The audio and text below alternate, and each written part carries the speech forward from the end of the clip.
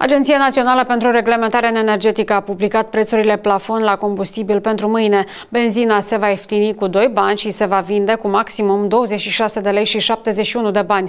Și prețul motorinei va scădea cu 4 bani și va constitui 26 de lei și 12 bani. Amintim că tariful record pentru combustibilul diesel a fost de 27 de lei și 88 de bani, iar cel al benzinei de 27 de lei și 72 de bani. Asta în timp ce la începutul lunii ianuarie litrul de motorină costa 17 lei lei, iar cel de benzină 21 de lei.